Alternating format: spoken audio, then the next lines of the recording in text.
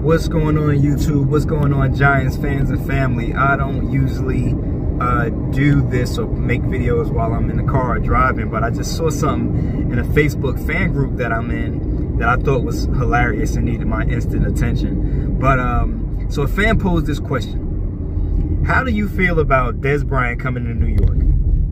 And my reply was, "What? You mean to get a pizza?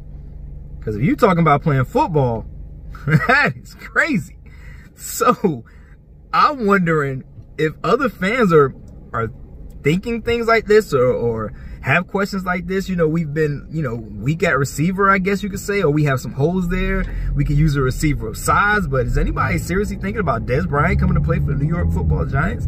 And, uh, you know, I always get a kick when I kick out of when I hear stuff like people say, well, you know, I think he even came out and said not a while back, maybe it was going back to the Cowboys, that he would be interested or, or welcome playing for the Cowboys again, or he would be welcome playing for the Giants or, or something like that. And it's like, I mean, duh, he's unemployed. So he would welcome playing for anybody. Like, so I get a kick when people say that, oh, Dez Bryant said he welcome coming back. Of course he would. He don't have a job.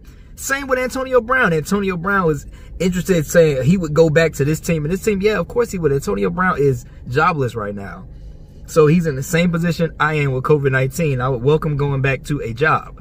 So I'm wondering, does, do any fans feel that way, you know, have those same questions or concerns, whatever case it be.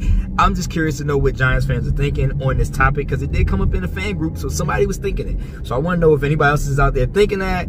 Uh, chime in in the comments.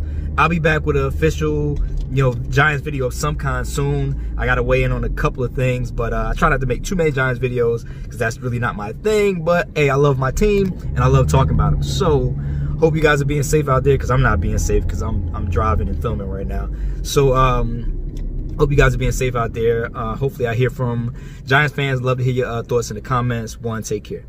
What's up, guys? This is Mustaffa Love with Heart Storm Media, and as always, if you like these videos, you can click my face here to subscribe or here to watch more videos.